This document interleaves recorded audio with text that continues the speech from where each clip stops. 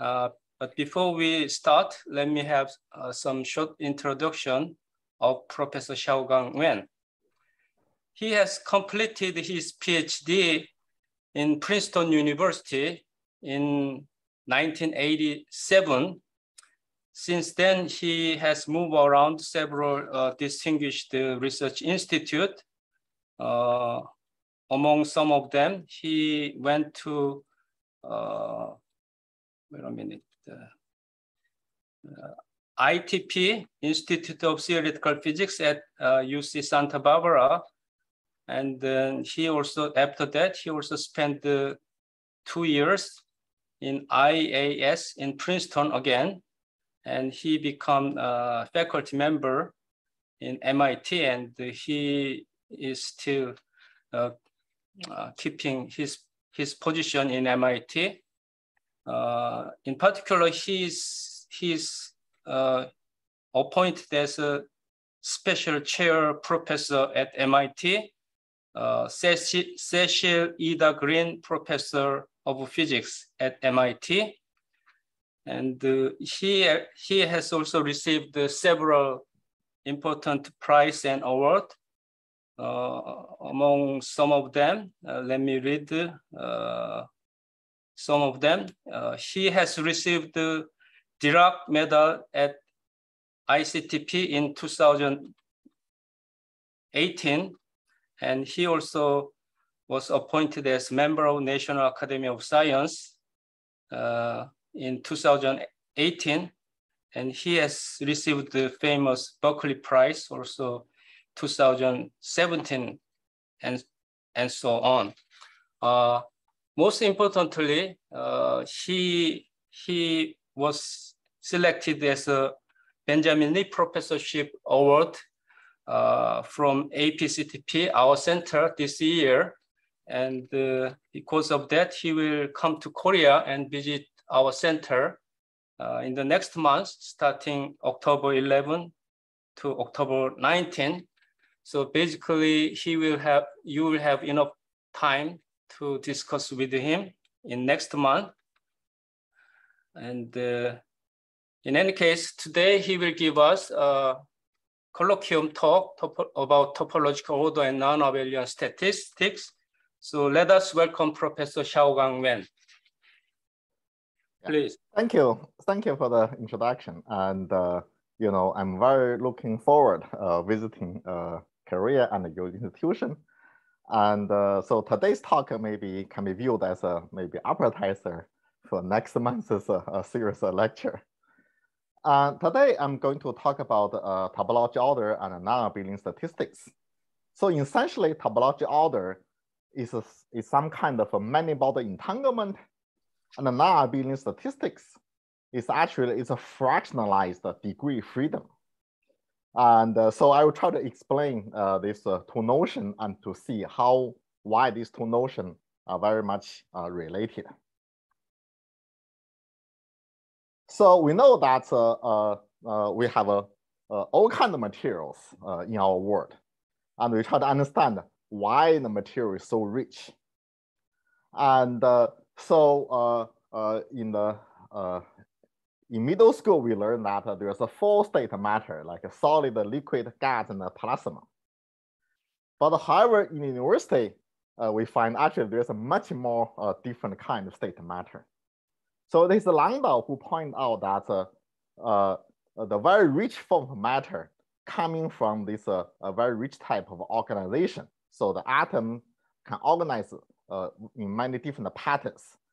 And the reason we have a a, a different order or different organization really because those different order have a different symmetry or different symmetry breaking.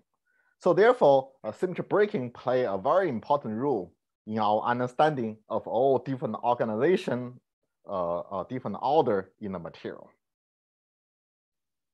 Okay.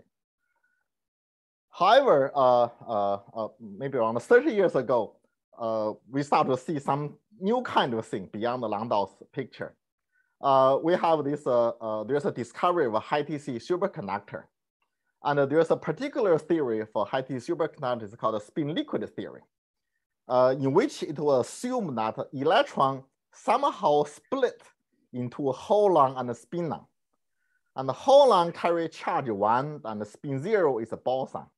A spinon carry charge zero, spin one half is a fermion. So some kind of very strange uh, theory. And then because the holon carry charge and is a boson, then the holon condensation would give rise to superconductivity. So that's a, that's a one mechanism for high TC uh, superconductor. And uh, and so so so then this uh, this uh, this kind of spin liquid would be kind of a very interesting uh, state of matter state organization, and it may have this fractionalization. So at that time, we are thinking about how to characterize this spin liquid. So what kind of order this spin liquid have? So we are still thinking about symmetry breaking. So we say, okay, uh, there's other parameter like this three spin uh, product. Uh, which can be non-zero uh, even uh, in the spin disordered states. But this state break time reversal symmetry. So we say, okay, maybe spin liquid is a state which break time reversal symmetry and the parity symmetry. And that's what gave rise to this uh, fractionalization. So at that time, you're thinking along uh, this direction. But however, uh, very soon we find that actually for the same order parameter, we can have many different we have several different spin liquid for the same order parameter. And this different spin liquid have a different property of the uh, of a holon spinon. This spinon holon may sometimes carry uh, Fermi statistics, sometimes carry uh, fractional statistics, etc. So there's different kind of spin liquid. So this is kind of puzzle. So the, since this symmetry breaking order parameter cannot fully characterize this uh, uh, spin liquid. and uh, and then uh, we also uh, at that time we also see there's a, a fraction of quantum Hall states. Uh, in the quantum Hall state is formed by electron uh, at the surface of a semiconductor and a very strong magnetic field. And for this two-dimensional electron gas, you can measure the Hall conductance. And they find there's a lot of very precisely quantized plateaus. Each plateau seems uh, uh, correspond to a certain organization of electron. And then we try to wonder uh, why, what is the order uh, in this organization, uh, how this plateau was formed, what is the organization which gave rise to this quantized uh, plateau. And here again, uh, we have a similar issue because those material are, are, not very pure, can have, a, can have impurities, but the impurity do not affect the accuracy of this quantization plateau. And so it looks like uh, whatever organization it has, it's uh, immune from impurity. But when you have impurity, the system have no symmetry, so no symmetry breaking. So again, it looks like uh, using symmetry breaking, uh, different symmetry breaking pattern to characterize different plateau, also not uh, reasonable. So at that time, uh, uh, we kind of propose that maybe uh, this kind of spin liquid or this quantum Hall state have a new kind of order beyond this Landau symmetry breaking order. This new kind of order is called a topological order. But certainly, when you propose a new concept like a topological order, you have to define, you have to define it. But actually in physics, a physical concept really defined by experiments. So you have to really propose some kind of measurable quantity, some experiments which can distinguish different topological order and measure different topological order. Uh, for example, uh, like a crystal order is measured by the X-ray uh, experiments. So different X-ray scattering pattern it can determine measure can determine the different crystal order. Similarly, the superfluid order is uh, de defined via this zero viscosity and this quantization of vorticity. So do we have something similar which is measurable which allow us to define this notion of a topological order. Okay, so the problem we are facing is that we have this uh, many-body wave function. Uh, they are strongly correlated system uh, with a wave function, many, many uh, uh, variables. So it's uh, hard to see what's in this, what is organization inside this wave function. So at that time, one idea is that uh, we just put this system, put this wave function on the sphere or on the torus or on the genus Riemann surface, etc. Then what you measure? we measure ground state degeneracy. And uh, so uh, because at that time, uh, uh, we have an effective theory of this quantum Hall states. So from there, we realized that putting this many body wave function on different Riemann surface can lead to this different degeneracy. So we have a topology dependent state degeneracy. So that's something special. So then, uh, so that's that's uh, uh, so this uh, this quantity kind of in some sense uh, define the topological order. Uh, maybe some yeah. stupid, stupid question. Also, yeah, I learned. I mean, this type of classification. So how can you think this idea? Sorry for this stupid question. Uh, yeah, what is the origin of yeah? This is completely different from. Yeah, yeah. The, the the the thing that uh, okay. Uh, you know, this uh, uh there, there's there, there, there are several things. Uh, one thing is that this uh, uh, uh, this uh, uh,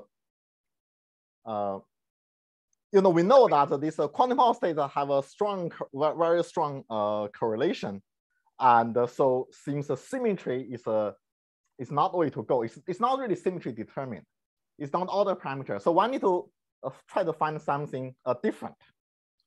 You know, at that time, uh, uh, you know, because before I studied this uh, uh, uh, spin liquid and the quantum Hall state, I was working on uh, string theory. And uh, so uh, in string theory, the conformal theory, people usually put a, a conformal theory on a torus. And then the, the, the torus may have different shape and etc.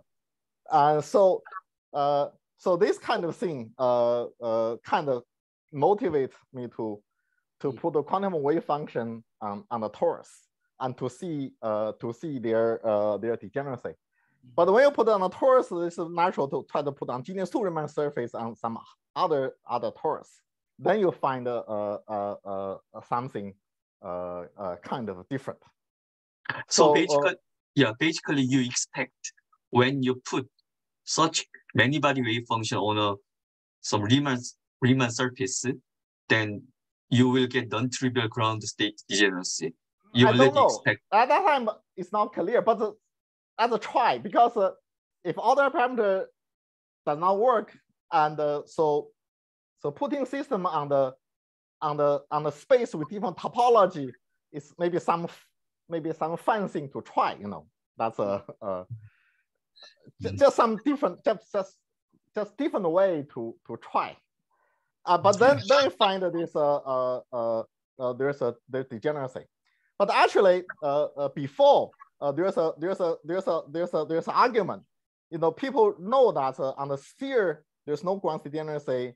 On the torus there's a ground degeneracy, and uh, uh, uh, so so there's a there's some puzzle and debate. So what's going on uh, uh, uh, for this case?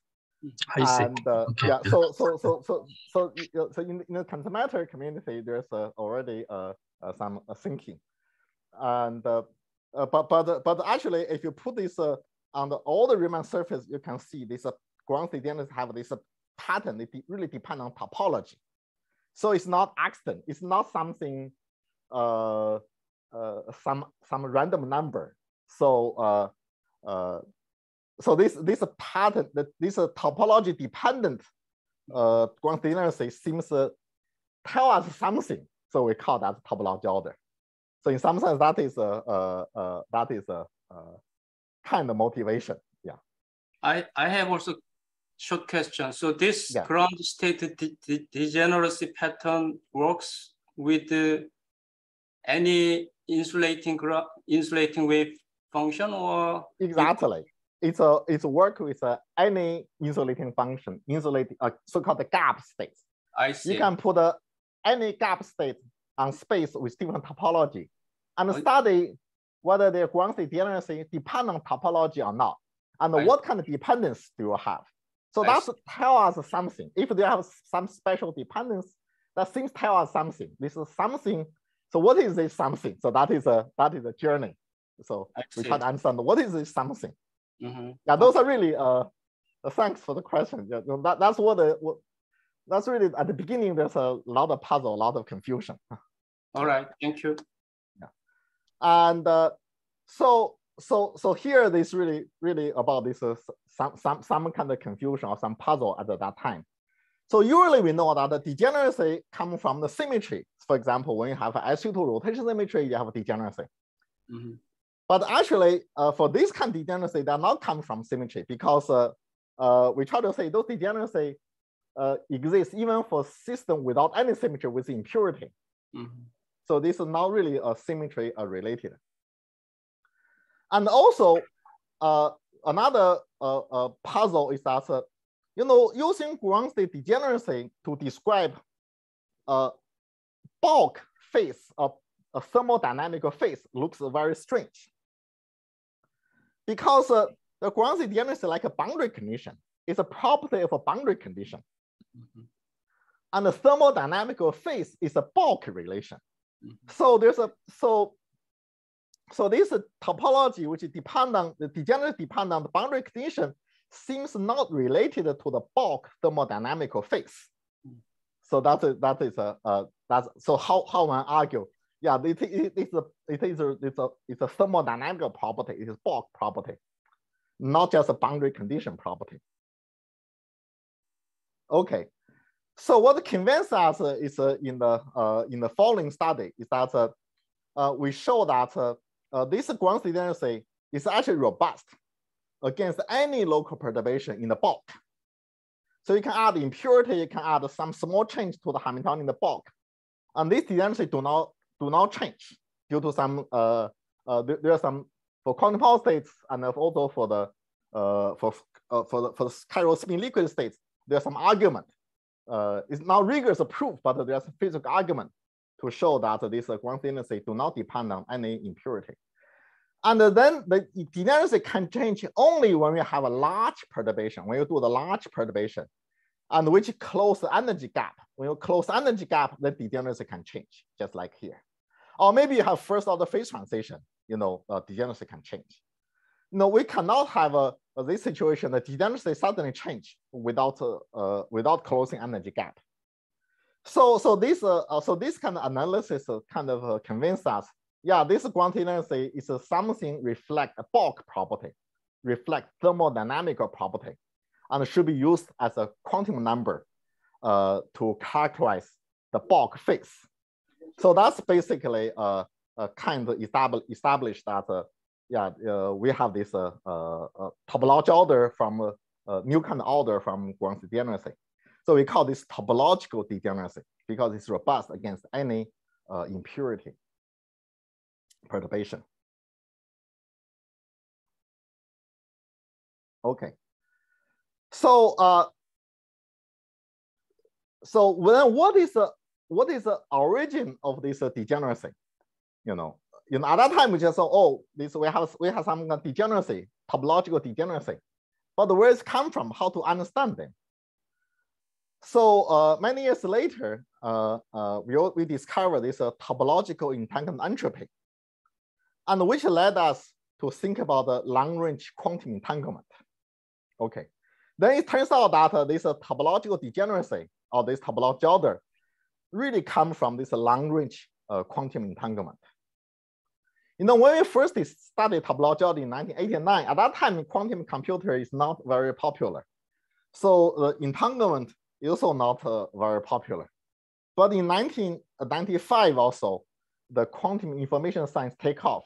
Then people start to thinking about the quantum information, quantum entanglement. Then, then fortunately, yeah, also maybe coincidentally, coincidentally uh, this topology order happened to be very strongly related to this entanglement.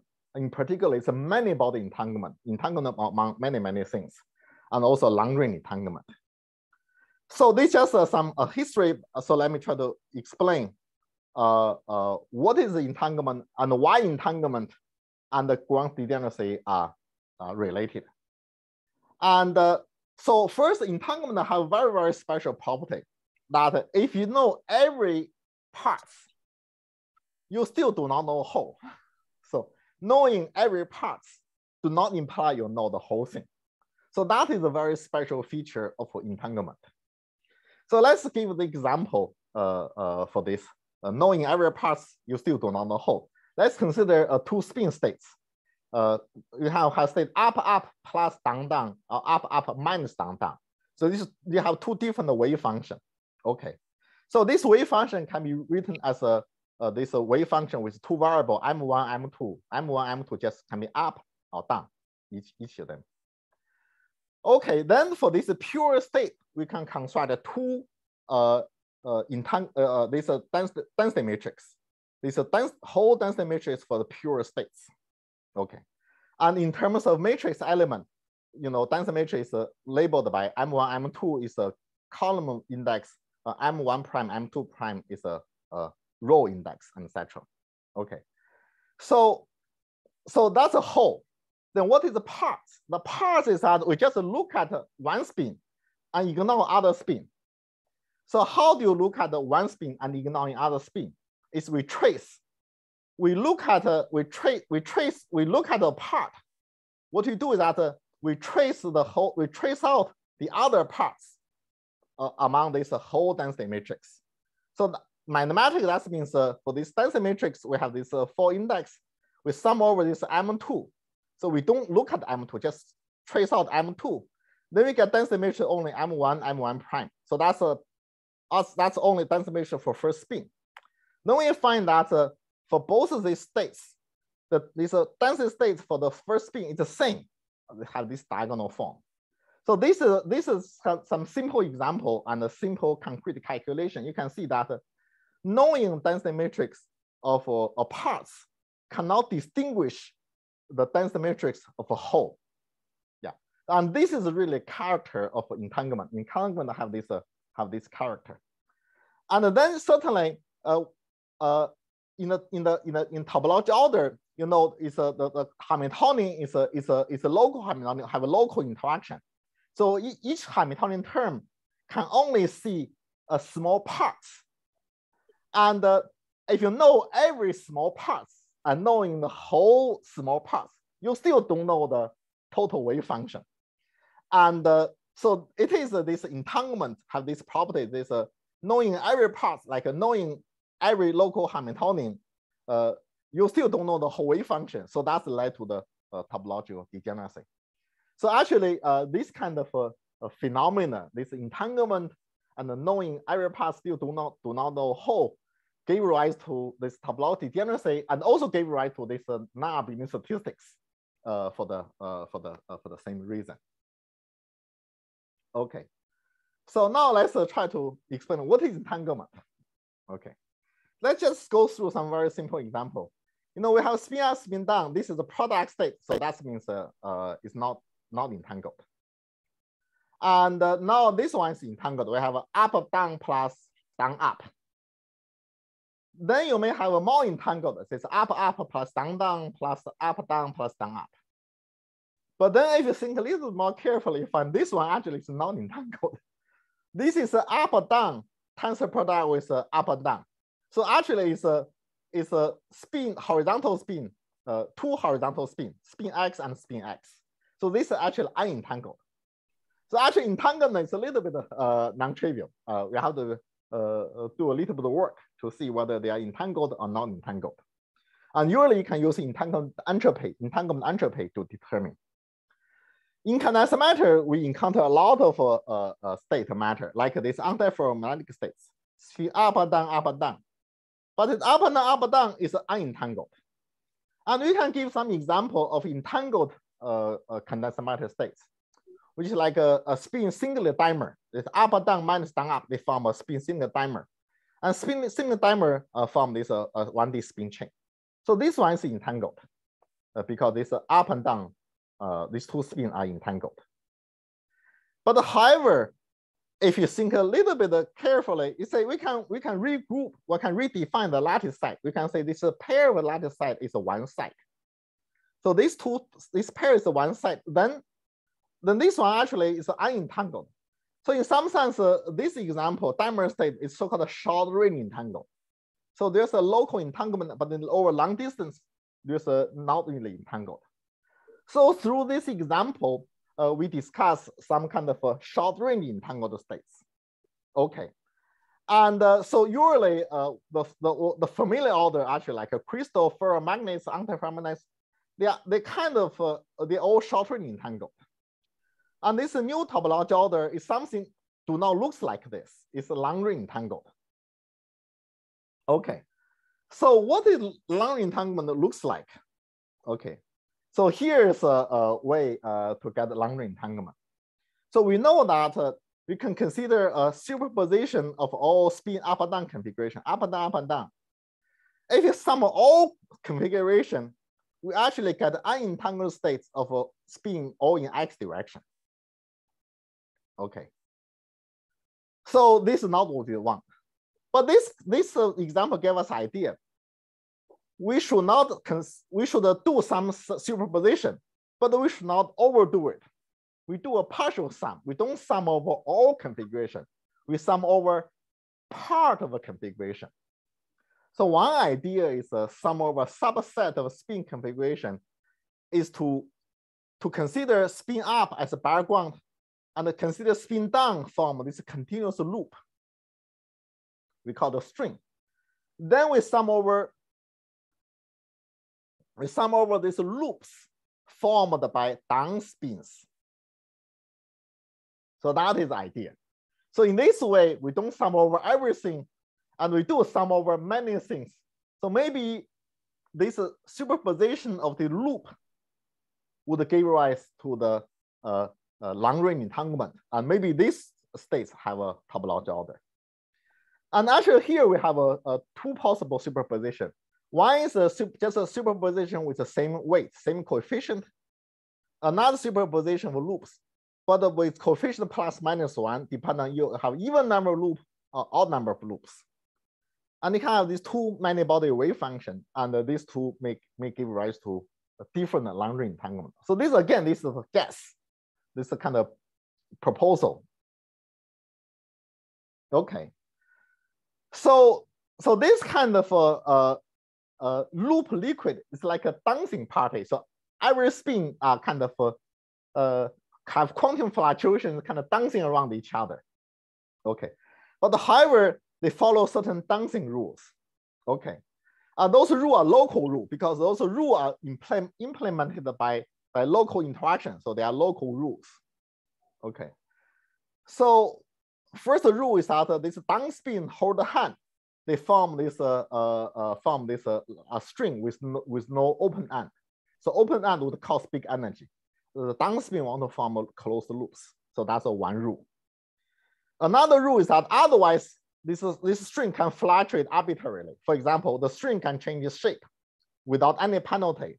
So therefore the ground state wave function uh, uh, uh, will have same amplitude for different shape of a, of a string. So string can fluctuate with arbitrary shape. Not only they can, they can fluctuate with arbitrary shape, they can also reconnect you know, this kind of configuration, they can join and reconnect uh, became this kind of configuration. So these two, this two dancing rule would ensure that uh, uh, the ground state wave function satisfy this condition actually turn out to be equal to one for all the string loop configuration. So that's exactly what we, we want. And so there is a Hamiltonian which gave rise to this uh, wave function. Okay, then, uh, then for the second wave function, it's similar. The only thing different is that this after reconnection, wave function changing sign.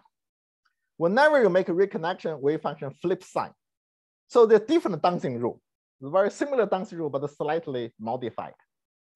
And then for this kind of a dancing rule, we find the wave function really given by just uh, what we have.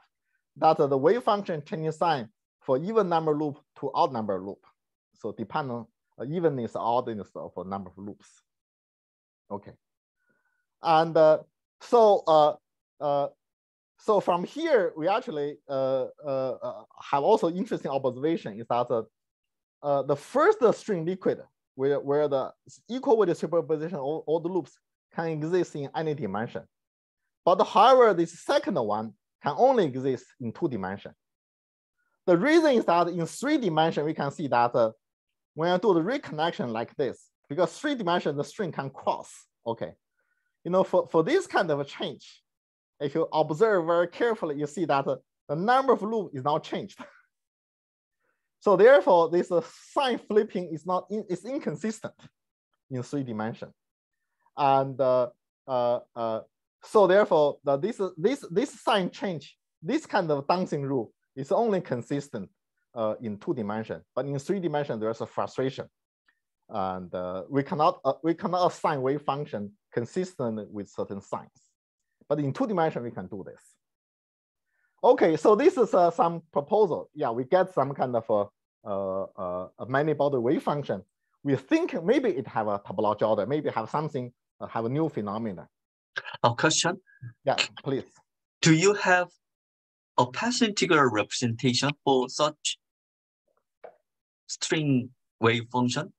Yeah, uh, uh, yes, uh, certainly. Uh, you can have a Path integral uh, description. Uh, but however, this integral description is not a quantum field theory. Yeah, even if classical some But uh, but you you but you can describe this uh, in terms of path integral.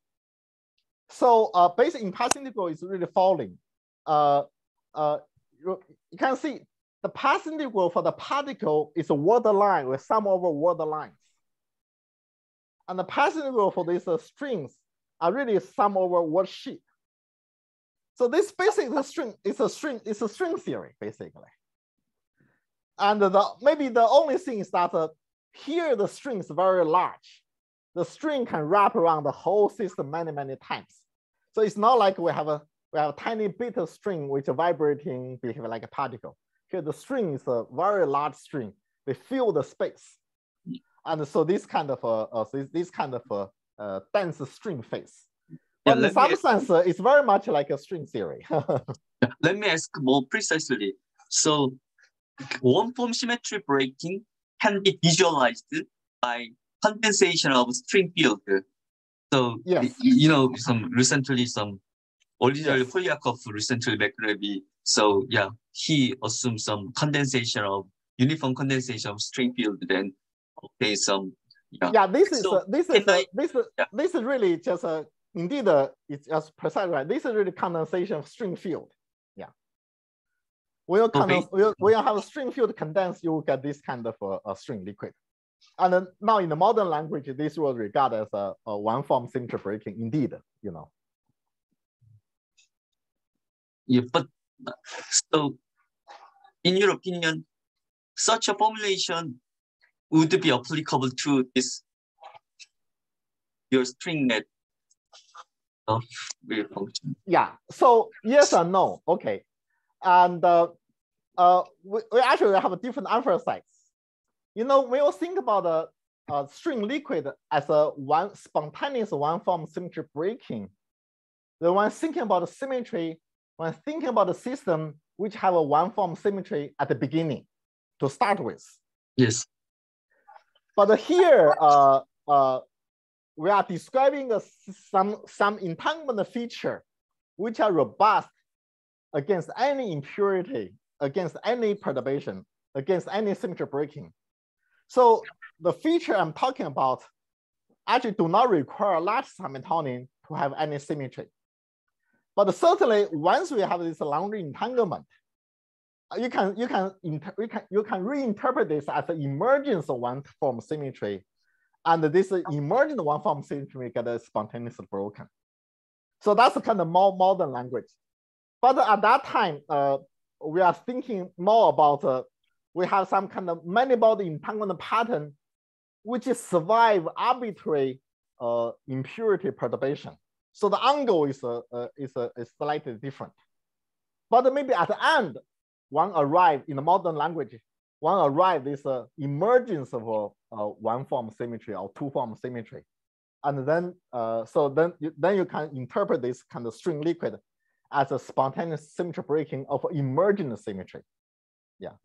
Okay. Thank you. But however, but however, here what I'm emphasizing is uh, the other spec.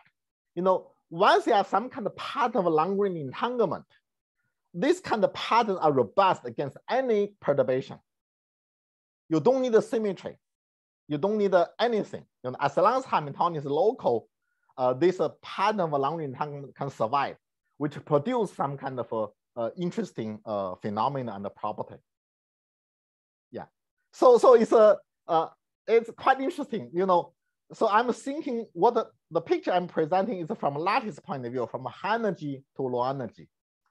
And this one form symmetry point of view, actually from low energy uh, point of view, we, we look at the low energy factor theory, which already have emerging one form symmetry, then which have a spontaneous breaking, then, then you can you get the same thing. Yeah. Yeah, this is a very good discussion. Yeah. So so there's a this phenomena really uh, nowadays obtain uh, uh, uh, acquired several different way of understanding. Okay. So again, let's go back to this, this uh, very cartoon picture. So we have string liquid, and we claim that uh, uh, this string liquid have a topological order. And so that means we should we should see ground degeneracy say on the torus. And actually, when you have string liquid picture, it's a it's a kind of obvious because uh, uh, because uh, on the torus we have we can four sector. The string can wrap around the torus uh, in the even time all times in x direction or y direction. So we have four sector even, even, even, odd, odd, even, uh, odd, odd. And this, this four sector uh, do not uh, uh, do not mix because uh, when when the string reconnect, they do not change evenness or oddness of string wrap around the system. So so this this evenness oddness is uh, do not change even after string reconnecting uh, when the string reconnects. Okay. And also uh, from this picture, you can see that uh, locally, regardless whether the string wrap around the system, even time or odd times, the locally, they all look the same. okay, so this is kind of cartoon way to show that uh, uh, for this string liquid, for both these two kind of string liquid, the ground, ground degeneracy on the torus is two. And similarly, you can see on the sphere, there's no degeneracy. On the genus Riemann surface, genus two Riemann surface, the degeneracy will be the uh, four, four square, will be 16 and etc. Uh, by similar arguments. Okay, so looks like, uh, yes, uh, this kind of string liquid indeed uh, have this, uh, uh, have a topology order. Okay, again, by cartoon picture. I think there's a more, more precise algebraic way to show this. So maybe we'll, in the future, I may talk about that. Uh, can I ask you a question? Yeah. Uh, so is this uh, string uh, something measurable or does it have dynamics also? Uh, this string actually is a come more around. So so this picture actually is a is a representing this uh, the the superposition of uh, represent ground state wave function. The ground state wave function is a superposition of all possible uh, string string, but it's very hard to to visualize superposition of all kind of string. So I just uh, using this animation try to say the string I have quantum fluctuation. Uh, so just a, it's just a classic way to represent the superposition of all string configuration. Yeah. I see. So, so this, this, is this not describing quantum wave function, not the- excited state. Yeah. property of the wave function. Yeah, this is just a, a cartoon picture for the ground state wave function. Oh, yeah, it's not like a, a string uh, moving around. I see. Actually, the the picture I just present, this topology order, have a, a lot of parallel with the superconductivity. And uh, so, so you know the topology order is defined by this microscopic property, like uh, this ground degeneracy, and also there's a mapping class group representation. Similarly, superconductivity also is defined by microscopic uh, property, like a zero resistivity, the quantized viscosity, etc. And however, but however, for superconductivity, we have another uh, a microscopic part. That is a, is a mechanism for superconductivity. It's because of electron pairing. So electron pairing led to superconductivity. So that's a micro, uh, uh, microscopic. Similarly, this long range entanglement play a role of this microscopic mechanism. So this long range entanglement is a microscopic mechanism for this macroscopic a phenomena of topology order, which is a macroscopic uh, ground state degeneracy. So there's a uh, there's a, a, kind of a parallel, and uh, uh, the difference that uh, uh, in superconductor we only have a basically very few kind of electron pairing. You know, electron pair maybe just in S wave or D wave, just a few types. But uh, long entanglement have a lot more types. So actually, there's a many many different ways to get a long entanglement. So this became really a fascinating uh, topic how many kind of long entanglement, uh, how to describe them, what is the mathematics to describe a different kind of long entanglement, uh, really became a modern challenge.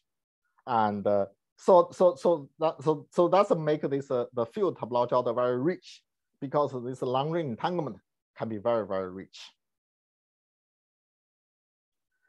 And, uh, and here I just want to make a remark you know, nowadays uh, top topology became very popular words, but uh, in many cases they may mean different things.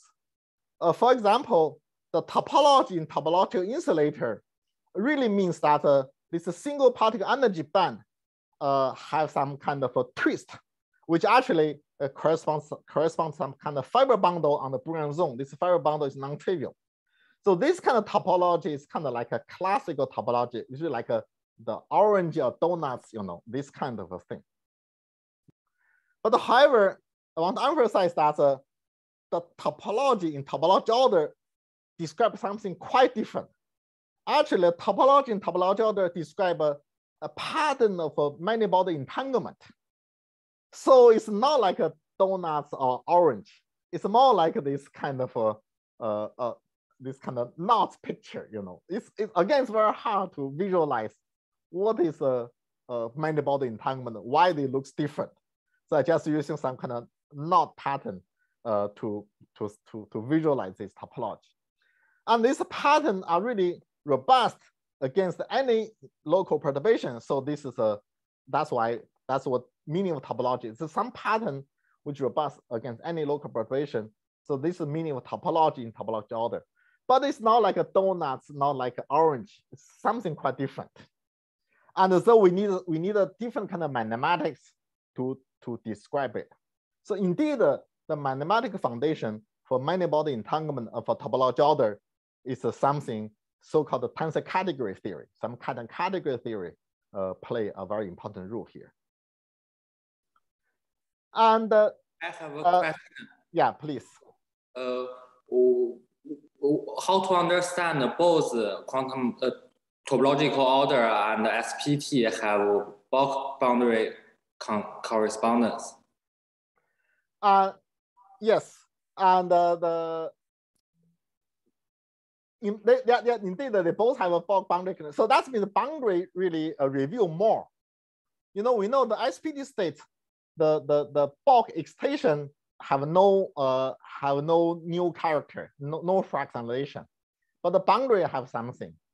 Uh, but for topology order, both bulk excitation and the boundary reveal something. And uh, so in some sense, uh, uh the boundary actually uh, reveals more. Uh, yeah, that's how I can only I can only say that. Yeah, you know we can probe the bulk organization in many ways. One can use extension, another way using boundary extension. But the boundary extension, a boundary theory seems is a more complete, reveals more. Uh, and but but now let's just describe this bulk excitation. Yeah, yeah. Please, you have a question. Yeah. So what's the origin of bulk boundary correspondence? Because I I'm there are okay. two phases. Both have bulk boundary correspondence. I, I think the I think bulk boundary correspondence maybe is uh, more general. That is uh, the uh, nowadays we believe that uh, for any gapped states, there's a bulk boundary uh, correspondence. We kind of topological holographic principle. And uh, uh but however, these, uh, these two phases are very different. For topology order, uh, there's no symmetry. So Hamiltonian have no symmetry requirement. For SPT states, the Hamiltonian have a symmetry requirement. So these two are kind of different class of problem. Yeah. And uh, certainly if you if you remove any symmetry, then all the SPT states become trivial. So there's no bulk boundary relation. So the bulk boundary relation of SPT states is under the assumption of a presence of a symmetry.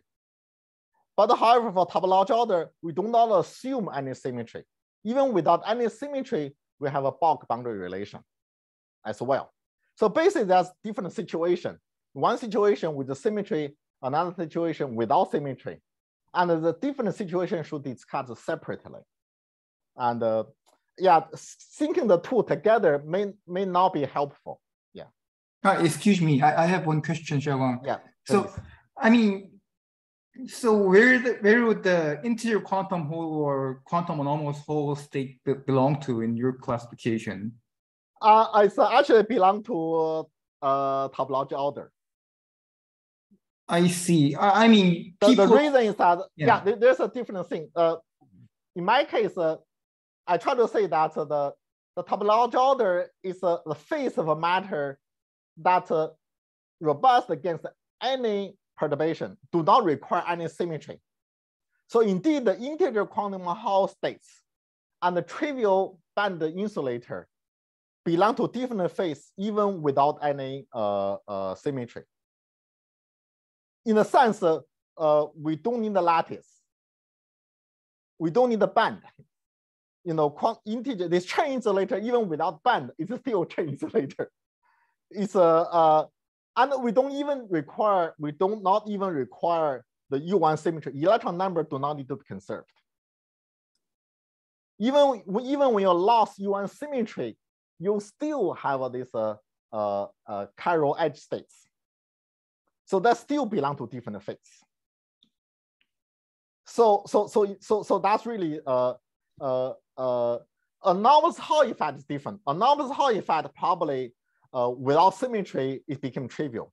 But integer quantum Hall states, uh, integer, oh, oh sorry, anomalous Hall effect, I'm uh, sorry, for quantum anomalous not, not spin Hall effect, for quantum anomalous Hall effect and the quantum Hall states, integer quantum Hall states, yeah, they both, they both have non-trivial topological order because uh, uh, they are distinct from the product states, even without any symmetry.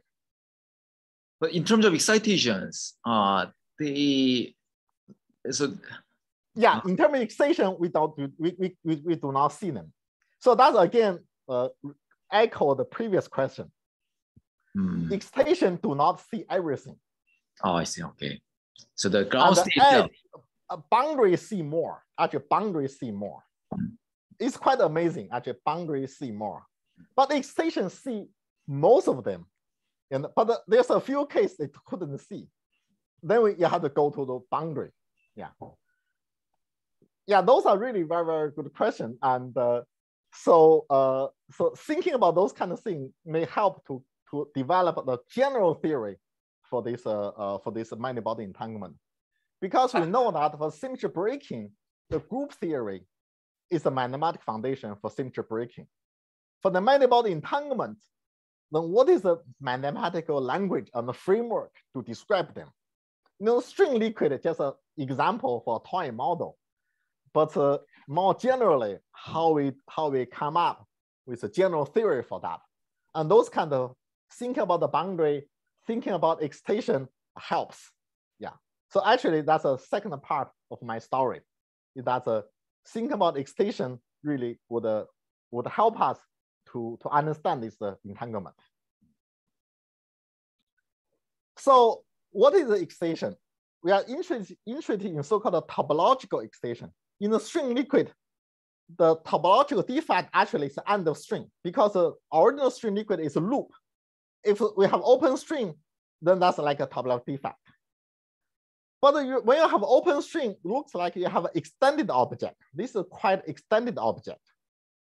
But however, in the background of closed string, the middle part is in, locally indi- indistinguishable from the ground state.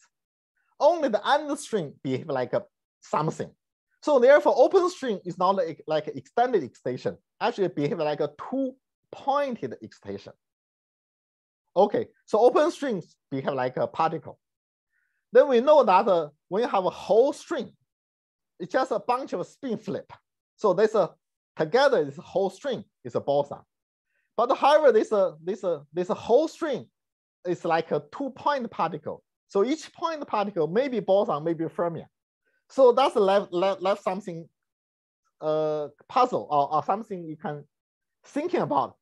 Even though uh, we have a bosonic degree freedom uh, on the lattice, but under the string maybe a fermion, who knows? Okay, so indeed we find under string can be fermions. And uh, so here I'm using some cartoon picture. Again, there's algebraic way, a more rigorous way to, to show this. But uh, now here, let's use some cartoon picture. And uh, so before I, I, study statistics, let's consider fractional uh, angular momentum. The angular momentum can be fractionalized. Okay, so so we know that the end string is kind, uh, kind of this kind of straight end and has this hooked end, the kind of superposition for all this. That's in general that the end string looks like. Okay, let's make a, a 360 degree rotation of a single end of string. Here we say we from straight end to the hooked end, you get hooked. But however, then we realize that uh, then then we this uh, string allowed to fluctuate like this. String can fluctuate. But then we find the hooked string and the straight hooked end and the straight end. They belong to two different sectors. The local fluctuation cannot uh, uh, uh, cannot change, change hook into straight. They belong to different sector. But however, the right hook after this string reconnection on this little neck here can become uh, right hook. The left hook can become right hook. So here we can fluctuate. But then after the fluctuation, if make another 360 rotation, then they go to become straight. So then we find that uh, the 360 degree rotation have this uh, two by two matrix is exchange straight sector to hook the sector, have this kind of uh, uh, behavior. Okay, then with the eigenstate of this, uh, have this uh, straight plus hooked, uh, have, have eigenvalue one, straight minus uh, hooked, have eigenvalue minus one, so that's spin zero and spin one half. So this is a cartoon picture to see. Yeah, this uh, under string depend on different superposition. They can have a spin zero or spin one half. We can have a fractional angular momentum, very, very simply. And once you have a fractional angular momentum, again, using this cartoon picture, you can get a, a fractional statistics or Fermi statistics. Because uh, exchanging two, two string end here, uh, I, I, have to be careful. This uh, keeping this straight straight string. Okay, just exchange this to to to to straight string. Then we can make a reconnection move here. String fluctuation can make a reconnection. You go to this configuration, and then we make another reconnection move then we go to this configuration. Then you find that exchanging two particle to string end is like doing one, uh, doing 360 rotation uh, for one string end. Okay, and so so therefore, uh, so so uh, that's why uh, angular momentum one half correspond to uh, Fermi statistics. So actually, this cartoon picture uh, a is like a cartoon way to prove uh, the spin statistical theorem. Okay. So this is the amazing thing that uh, our original picture just just a bosonic spins. Then because of long range entanglement, we have a fermionic quasi-particle emerge from the bosonic spins. So that's really a consequence of long range entanglement. Although this a string, this a string do not cost any energy, but the string indeed can modify statistics and modify the angular. So that's an example we can see that. I'm sorry, in what dimension yeah. you are working? This two dimension. And the three dimension, this picture uh, do not work. Actually, in three dimension, uh, uh, uh, uh, things are different. Yeah, in three dimension, we don't have these two different sector. Yeah, we only have one sector because the, the string can, can rotate, have more room to fluctuate. So this right, is two dimension. The, in two dimension, in two dimension, does a spin half for one make sense? Yeah, spin one half makes sense in two dimension. Actually, in two dimension, uh, spin can be any uh, any uh, uh, fractional value. Do not have to be one half. Right. Okay. Uh, but however, in this particular case, a spin is quantized as one half. We don't have other value. And the end of string, end of string only have two spins, spin zero or spin half, no other spins. For this particular way. So what is the origin of a two-dimensional quantization of the angular momentum? Oh, that is a very, very good question. You know, from symmetry point of view, the two-dimensional rotation is U1 symmetry. Momentum is not quantized from symmetry point of view. But here, we are not doing symmetry, we're doing entanglement. And actually entanglement uh, led to the quantization. And the momentum can only be some fractional value. And for simple entanglement pattern, we have simple fraction. For complex entanglement pattern, we have a complex fraction. And this, uh, this quantization is really coming from entanglement, not from symmetry. Mm, yeah. Thank you. Uh, indeed, this is again very very good question. Yeah, it's it's kind of interesting. And uh, here, like, let me give you. I I'll also echo your question. Uh, we can see uh, another different type of quantization. Remember, we have another string liquid where this string reconnection changing signs. Then, if string reconnection changing signs, then our analysis is modified because we can do 360 rotation, the straight became hooked. But when the right hook became left hook, we need to use this string reconnection. Then there is a minus sign here. So therefore, our two by two matrix for 360 rotation is this one minus one in the off diagonal, have this, this extra minus sign here because this string reconnection rule have a minus sign. Then the eigenvalue will be i minus i so means the spin is a quarter or minus quarter. So you can see that uh, it is a different entanglement pattern led to different fractional spin. The spin cannot be arbitrary a real number. They, they, are, they have fraction, but this fraction spin coming from entanglement. Okay. Then, then because spin statistical theorem, uh, this a spin quarter would mean semion, the statistics between boson and fermion. So we call the semion statistics. And uh, so it turns out that uh, the first, this, uh, this uh, using topological excitation, we can distinguish these two spin, string liquid. They really correspond to two topological order. Although from ground state, from ground state degeneracy, we cannot distinguish them. But from excitation, we can distinguish them. Okay. And one is so-called Z2 topology order, another is called double semion uh, order. And uh, this is spin charge separation we talked about at the beginning for the high-Tc superconductor. It's just special kind of a fractionalization. So I will not go into that. Yeah. And uh, for those who are interested in topological quantum field theory, uh, this Z2 topology order corresponds to Z2 gauge theory uh, uh, uh, as a topological quantum field theory. So that's why the Z2. This double semion topology order, uh, there's a mutual Chern-Simons theory or some kind of double Chern-Simons theory uh, would describe as a field theory for the double semion topology order. So excuse me? Yeah. I have a very naive question. So, yeah. so introduce uh, some extension of the topological order and uh, yeah. do we have any some mathematical object which mimics the, such kind of properties like uh, uh, so Clifford algebra or something like that came to my mind. So I wonder whether such kind of thing exists in mathematics. Yeah, this is a, a really, really good question. And uh, so usually we say that uh, the boson have uh, this commuting operator, commuting algebra. Fermion have anti-commuting operator, anti-commuting algebra, and something like Cliff algebra, or something like that. And whether this uh, other like a semion or other fractional statistics have some kind of uh, algebra. And uh, yeah, it's uh, may not be that simple, you know, it's uh, I think there's some kind of algebra, but uh, but much more complicated than just a commuting algebra for boson and commuting algebra for fermion. It's much more complicated than that. So, so that's led to what I just mentioned is some kind of tensor category theory or some kind of a fancier algebra. I uh, so now now there's some paper discussing this uh, this net net operator algebra. You know, in conformal field theory, there's conformal net.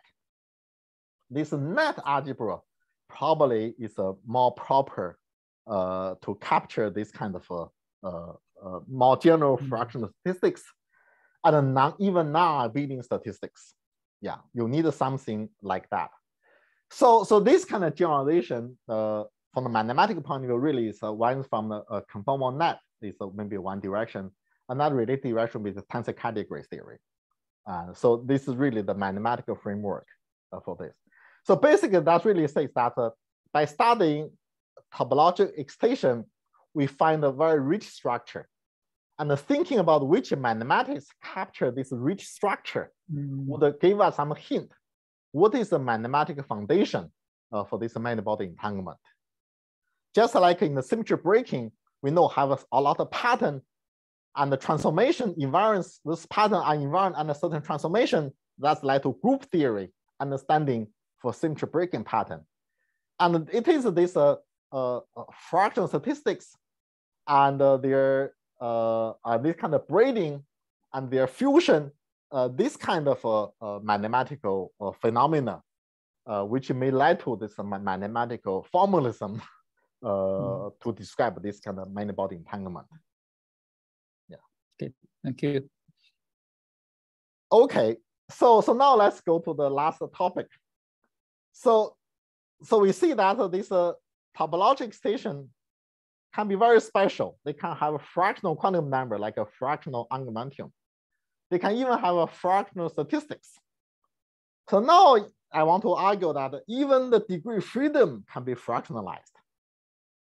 So what is degree freedom? Like spin one half, have spin up, spin down. That's a two degree freedom. But this degree freedom can be fractionalized. The, sometimes uh, this topological excitation may have a degree freedom which is not integer. So like uh, it's a Hilbert space have a non-integer dimension, something very strange. And that even that is possible. And to, to, to reveal that possibility, we need to consider a more complicated string liquid. We call the string net liquid. You know, originally, uh, in two examples before, we only have a string only from loops. Uh, string do not allow to join and do not allow to, to end.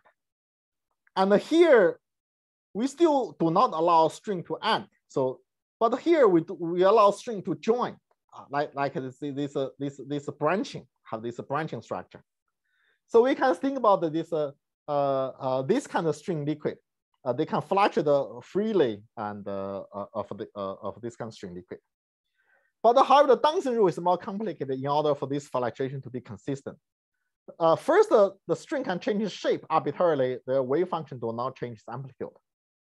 But however, when string reconnect, like uh, from here to here, that's a previous string reflection from horizontal to vertical. We say they are the same. But here we have another configuration. The string may be connected like this a Y shape or H shape. And so in general, the, more general, more general reconnection rule is like this. We have a string, three configuration are related. So then there's a, there's a non, non-trivial coefficient. It turns out that uh, uh, these coefficients are highly constrained in order for the, for the string wave function to be consistent. It turns out have, should have this form and this uh, phi is, a golden ratio. Okay, so this really gave rise to uh, this string net liquid. It turns out that any string in string net liquid have a non-abelian statistics and also have a fractionalized degree freedom. So usually people say non-abelian statistics coming from the braiding is not the face, it's a matrix. But here I want to emphasize that uh, non-abelian statistics is more about the degree freedom get fractionalized. Uh, this particle carry fractionalized degree freedom. And this is the more dominant phenomena, uh, more dominant physical property for non-abelian statistics. Okay, so so let's uh, let's say what is the internal degree freedom, for under string? Okay, so to determine internal degree freedom, what we do, uh, we just fix location of uh, excitation, and then to see do we have a remaining ground state degeneracy? We have remaining degeneracy that reflect internal degree uh, freedom. So let's consider we have a string net liquid on a sphere, okay? And we fix location for end string. We have a, we suppose we have a four, four string end. We fix their location, okay? Then we ask uh, how many states are there? How many locally indistinguishable states are there? And uh, very naively, we may say four, because we can string can connect this way or horizontally or with a with a with a with a with a bridge in between and etc. So maybe we have a fourth. It turns out that this picture is too naive, and uh, it turns out that uh, uh, if you include all the possible string fluctuations, there are only two linearly independent states uh, for four four strings, for four string and yeah, there are only two linearly independent states, and this this uh, this result is obtained from this fusion rule for and string. So you know, let's using the phi to describe the and string. If you put the phi and phi together, the phi phi have this fusion rule. Phi times phi equal to one plus phi. okay. Here one represent the trivial excitation, and the phi represent the non-trivial excitation. Non-trivial means the end of string. The trivial excitation just like a like a, a local spin flip not under string, some trivial excitation. So this fusion rule, we, we, we know that this phi times phi means uh, the bound state of two phi particle. That's physical uh, understanding. But what is a one plus phi means? So that's a, a, a, we need to explain what one plus phi really means. So somehow mathematicians understand this. Somehow physicists kind of miss this. Uh, so so actually we, we kind of know, know this one plus means falling. So let's consider uh, two spin one half particle. And uh, if you view this two spin one half particle as a one particle, we view from very far away. We view this two spin one half as a single particle. Then we say, what are they? What is this part? What is this particle? It turns out that uh, this uh, from far away, this single particle may have a spin zero may have a spin one. So actually, they are kind of a direct sum, direct sum of spin zero and spin one. You know, that means that uh, this, uh, this bound state for two spin one half particle can be viewed as accidental degeneracy of a spin zero particle and a spin one particle. They have accidentally degenerate, uh, accidentally have same energy. So therefore, it's like a zero plus one. So total number of state is a one plus three equal to two times two. So that is a, that sum really means. So therefore this direct sum in mathematics correspond to accidental degeneracy of uh, excitation in physics. Okay.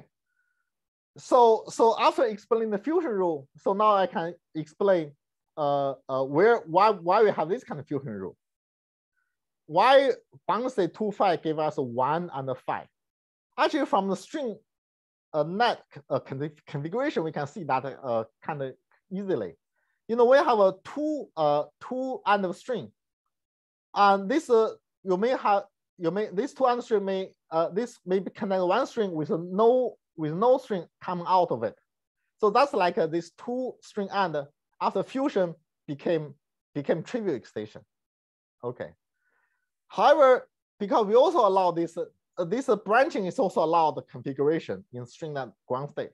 So therefore, this is two phi fused together also have a possibility that it became a single phi. So therefore, fusion of two phi have two possibilities, either have nothing or become single phi. So that's led to this kind of a fusion rule. And using this fusion rule, we can construct the other fusion rule. For example, the fusion of three phi together you can fuse the first two phi, become one and a phi. And then fuse the second phi with, a, with a, this uh, direct sum. Then fusing this one with a phi, we just get a phi. Fusion phi with a phi, we get a one and a phi. So we get a one and a two phi. Okay, so there's some kind of a mathematics uh, of a fusion rule. And similarly, you can do this uh, a fusion four phi give us a, two one and a three phi and etc. So those are uh, so this is a, a kind of a, how we do the fusion rule. Question. Yes. How, how can you assign the fusion rule? So in a sense, uh, it's from the string net because in the string net, uh, uh, we allow two string to uh, to to become nothing, you know. Uh, yeah. So in this case, uh, the two string, uh, yeah, that's another picture. Here, this uh, uh this this two string is a is a uh, uh you can see these two string when they fuse they they they they they, they became nothing. But here the two string when they fuse they become another string and this single string can have another end. So this this these two picture gave rise to to to this. Yeah, this unfortunately this is a cartoon picture, and uh, there's a more rigorous uh, uh, mathematical description. And, so uh, yeah, which, I yeah. I missed uh, previously you mentioned that some consistency condition, the wave function should satisfy determines some coefficient of the wave function. Also, yes. is, is this fusion also determined by that? So what what is the consistency condition? Sorry, I have to ask Yeah, before, but and, uh.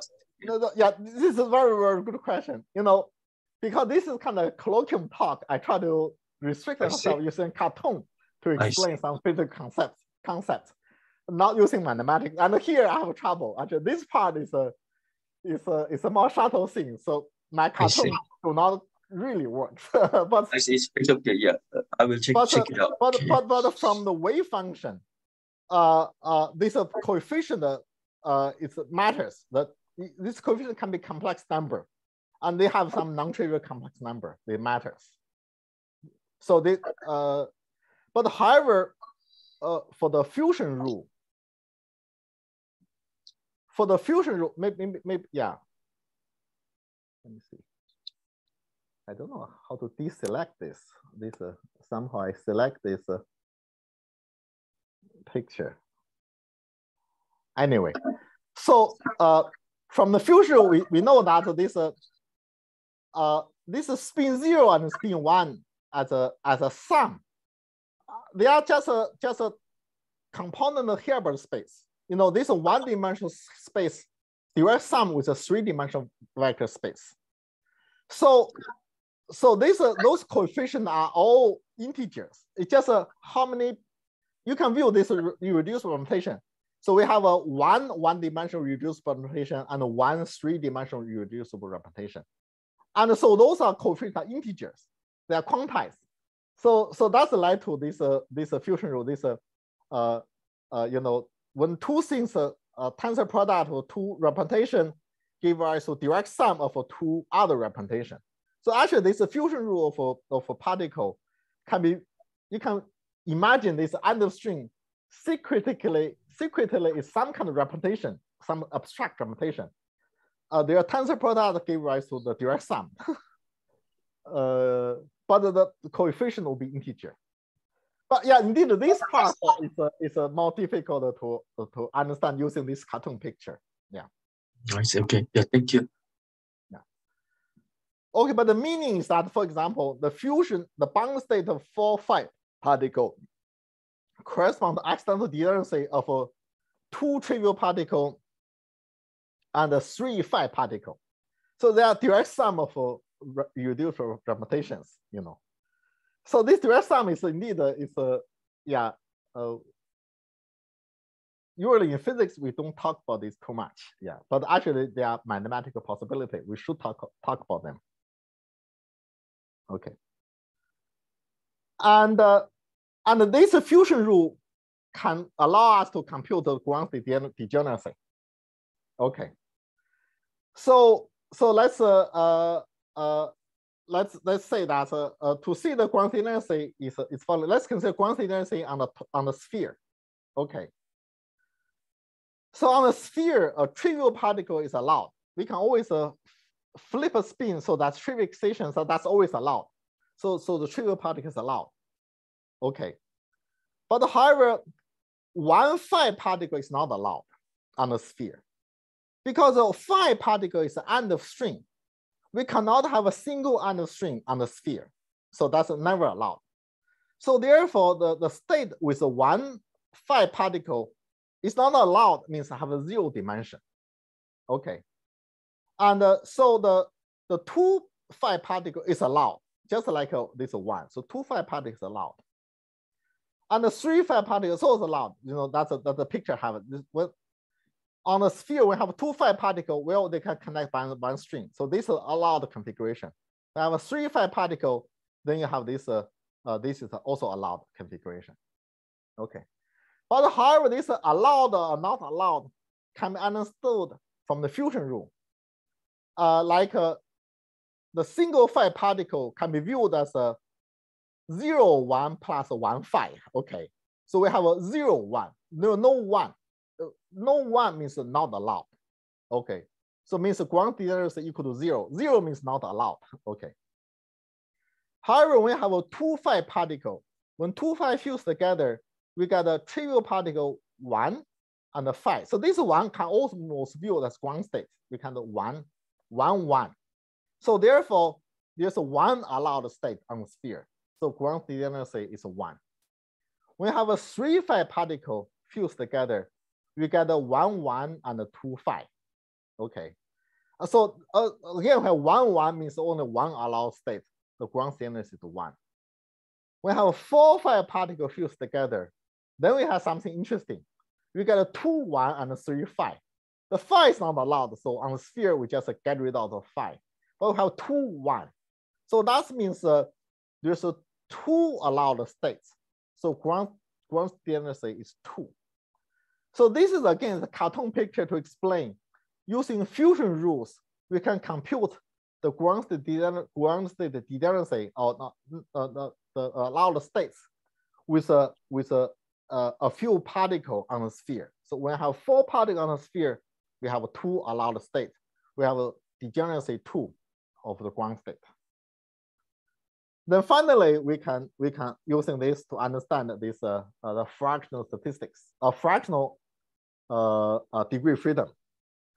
You know, uh, so let's assume we have a we have n particle on a sphere, and there is a the dn is a number for locally indistinguishable states for n particle uh, on the sphere.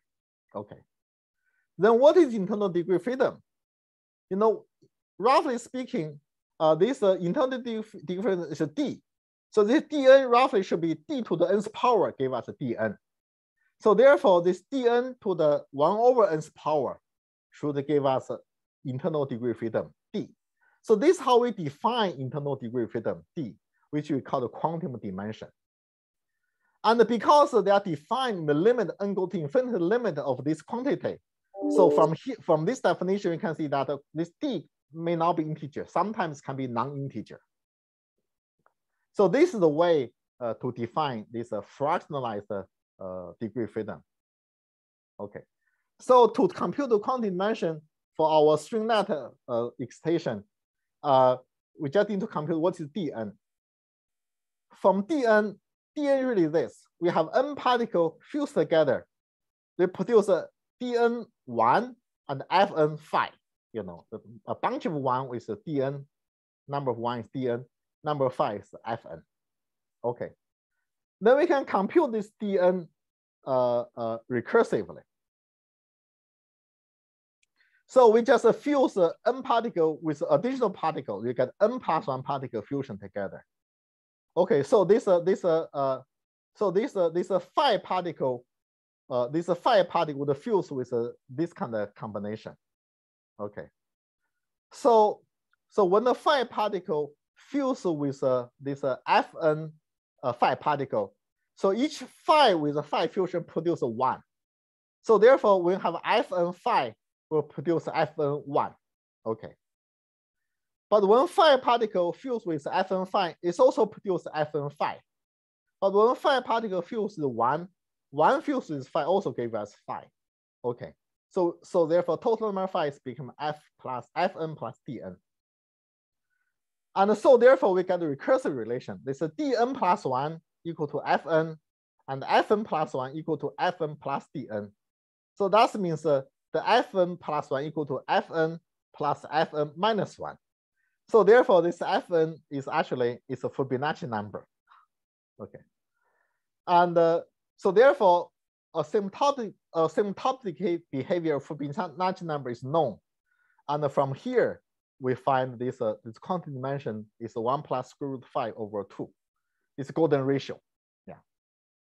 Okay, so this is a, a, a this is kind of simplest example.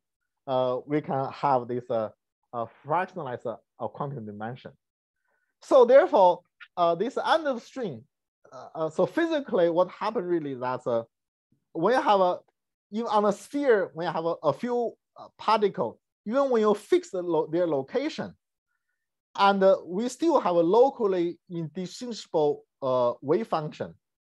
And we still have a ground state degeneracy, the topological degeneracy, which is robust against any perturbation. Okay. And we can, we can attribute this uh, topological degeneracy in the presence of end string as internal degree freedom for each end string. But in this case, uh, the internal degree freedom for each end string may not be integer. So that's a, uh, but it can have some number, it's called a quantum dimension. Okay. And this, uh, because this uh, degeneracy uh, from this, uh, uh, uh, from this uh, uh, uh, from this uh, configuration is a topology robust. So this degeneracy is robust against any local perturbation. And uh, so therefore we can use this degeneracy as a qubits to do quantum com uh, computation.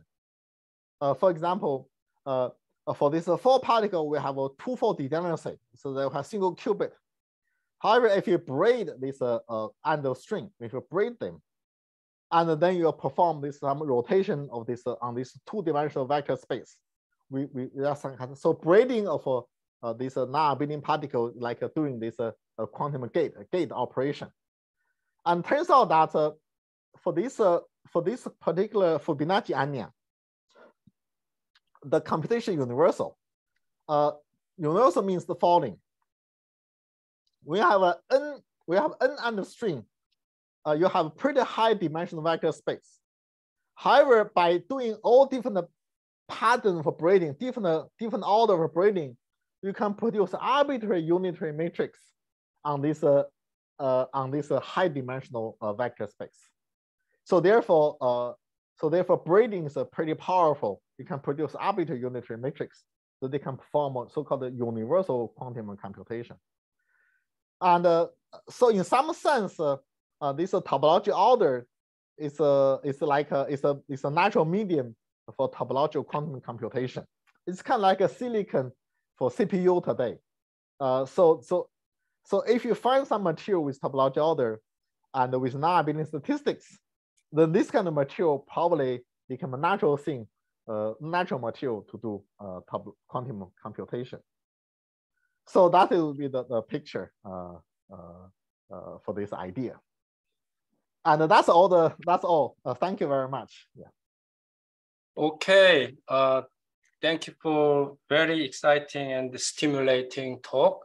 We have received already many many questions and answer, now the session is open for questions.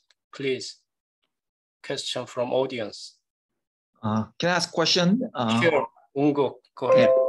Uh, so the uh, so you explain this uh, topological orders in gapped state. Uh, and I think probably the uh, next level, one of the next level question would be the uh, how to characterize uh, long range entanglement uh, of gapless system like a non-Fermi liquid. Uh, is there any progress or uh, some interesting directions? Uh, can you tell us?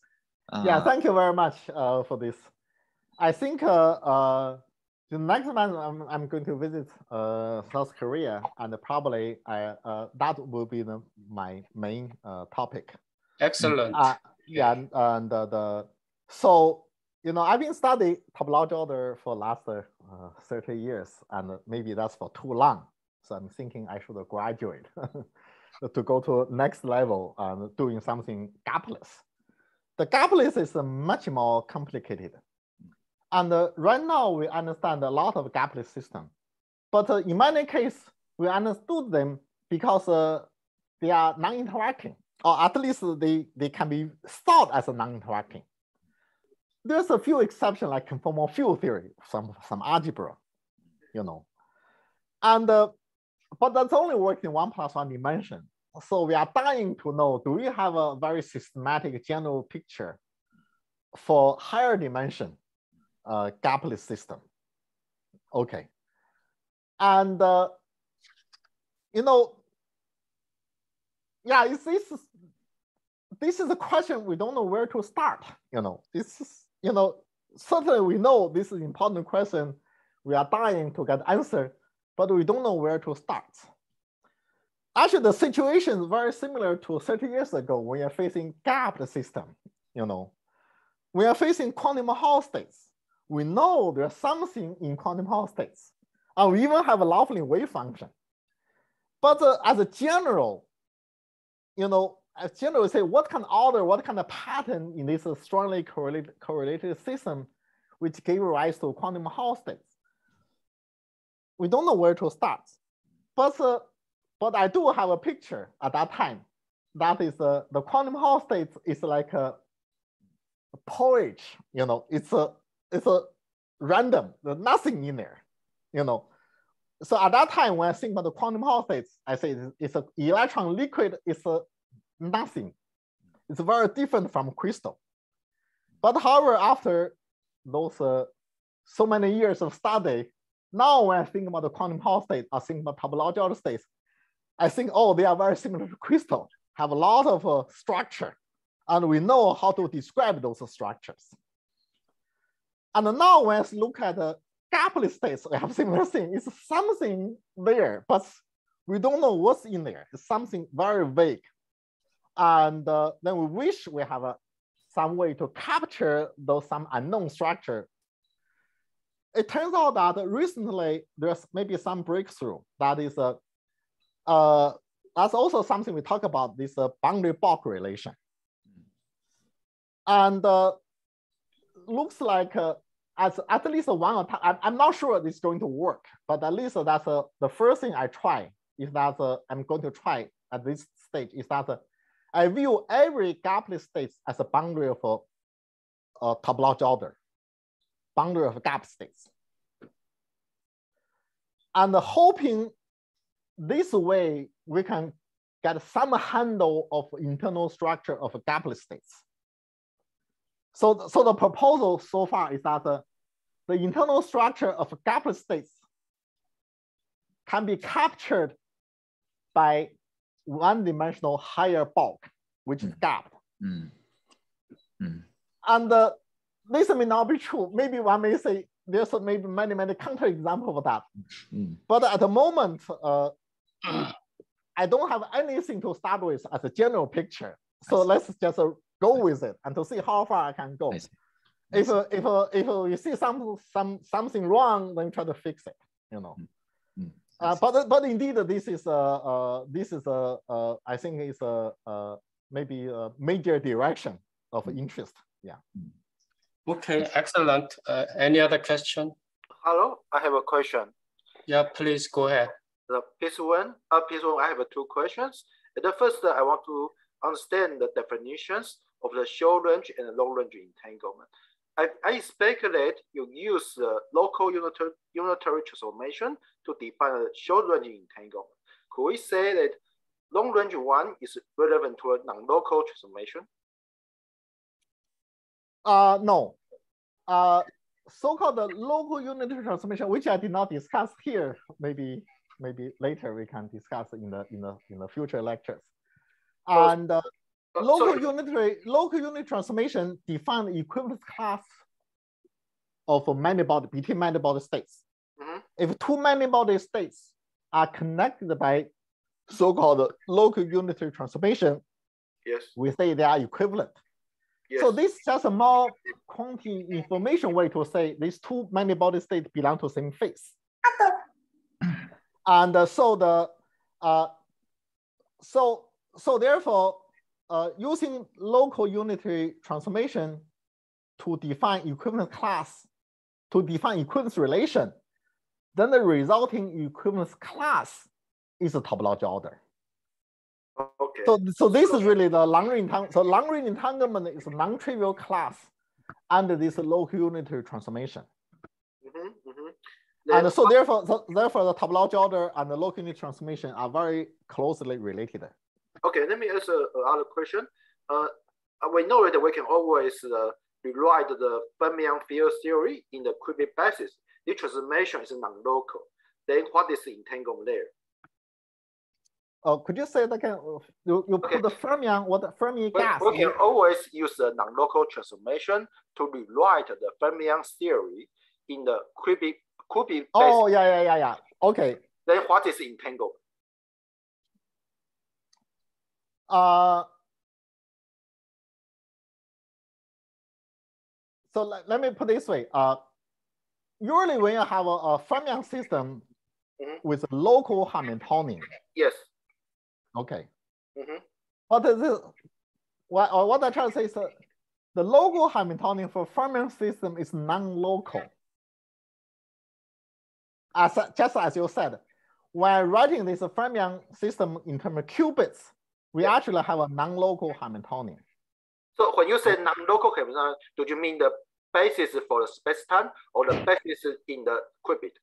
only in basis for qubits. Okay. For the for the qubit basis, the the fermion Hamiltonian in terms of qubits is non-local Hamiltonian. Okay. So in some sense, they are not allowed. So when I consider the bosonic system, so so in this talk, I talk about only bosonic topology order means topology from qubits. yes. So the so very important assumption that all the Hamiltonian for the qubits are local Hamiltonian. Mhm. So therefore, this uh, this fermion so-called local fermion Hamiltonian is forbidden from a qubits point of view. So we don't even consider them. Mhm. But however, your question is a is a is a very valid question. We can redefine localness. There's a fermionic localness. Mhm. And then using fermionic localness to re-examine all the things I talk about today. Mhm. So that is a different direction, but a parallel uh, thing. So today I only talk about bosonic topology order. So you can imagine there's a, another version of a theory I'm describing here. Mhm. It's called fermionic topology order. They're coming from this uh, so-called local fermionic Hamiltonian. Mhm. And uh, then there's similar theory. Then there's similar classification. So that's that's indeed a very interesting question. Uh, you know, uh, there's a two version of topology order theory. One is a bosonic version, one another is fermionic version. Okay. Let me ask. A, And, uh, and the definition of entanglement are different. So so I don't mix the two. I do not mix the two. Although I, I just confuse one thing. We usually can use the fermion to control the bosonic state because fermion spin is is a half. Fundamental fermion is a spin is one half or electron. Okay, electron spin is one half, but the bosonic spin is integer. So in some sense, I will think that we can we can use the fermion's entanglement to control the bosonic entanglement. Yeah. Again, this is again very very good question. And uh, so, but but however, in this question, the context changes. Now here you're talking about the excitation. Mhm. Even for the bosonic qubits model, it can have a fermionic excitation. Uh-huh. Okay. But however, in many physical systems, we seem to feel that if we know the excitation, we also know the fundamental lattice theory, Mhm. uh, which is usually true for the trivial phase. Indeed, for the trivial phase, excitation and the lattice degree freedom are closely tied. Mhm. But for topological order for long range entanglement, that, that's not true. The excitation and the fundamental lattice degree freedom are kind of can be very different. And uh, so, so they are not, they do not have a close connection. So even when you have a, when you know some state matter have fermionic excitation or, or, or anyon excitation, then using anyon to describe uh, the original lattice system can be challenging, you know. Uh, so so so that is a uh, yeah that yeah that's kind of different problem. Yes. Okay. Thank you. Thank you. Okay. So, uh, any yeah, other? one, one, one more question. Okay, go ahead. Yes. So I, I think you have I mean, you have not touched upon this question about effect of thermal fluctuation on topological order. And I'm just wondering like whether we can make a general classification of what features of topological order is more or less susceptible to thermal fluctuation. Like if you compare like like comparison between edge excitation and the bulk excitation. Yeah, again, so this is a very, very good question. Okay, and uh, uh, uh, thermal excitation actually is, uh, is about excitation, okay. And uh, the uh, usually the, today we talk about the point-like excitation, like end of string or point-like, okay. And uh, the point-like excitation is not robust against the thermal uh, thermal uh, fluctuation or finite temperature.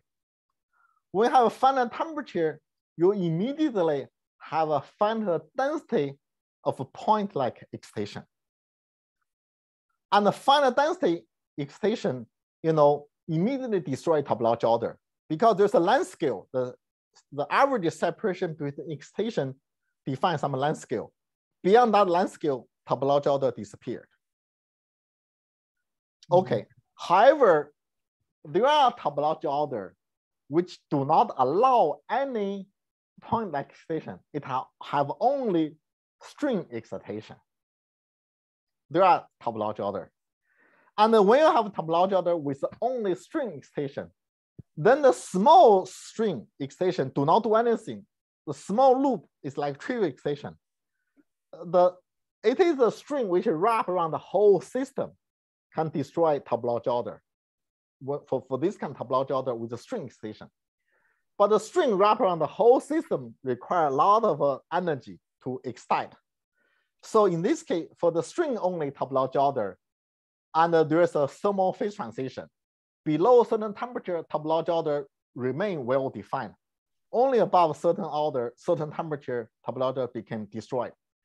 I, I forgot in string theory, this temperature have a name. I forgot what's the name. You know, when the string get a, a perf perforating and uh, Hagedorn temperature. Hagedorn temperature. I see, yeah. and uh, so uh, uh, so so then they're similar thing. So so actually we have a topological order which allow which survive finite temperature. But unfortunately, this topological only exists in four spatial dimensions yeah, we, we, we, we live in three dimensions. It's hard to go, overcome that. Yeah. And uh, so, so people are thinking about some other means to see whether you can construct string only topological order. In that case, you may have a, you may have something immune to finite temperature, uh, which is very important for application. Yeah. Okay, thank you very much. Okay, I think it's time to wrap up. Uh, but let me take the privilege as a chairperson to ask my own uh, stupid question. Uh, so Xiaogang, when you count uh, ground state de degeneracy, you count the number of possible uh, one state, trivial one state. Yes, yes. My understanding when I look at the picture, this trivial one state is just nothing, no particle. Yes. So then how can you count to number of nothing? Yeah. So in yeah, you're totally right. Okay. Yeah. And uh, so you can see that uh, this uh, uh, uh, yeah, this is uh, something more more detail about this. Uh, what is the extension? Right. Uh, okay. Let me see this picture.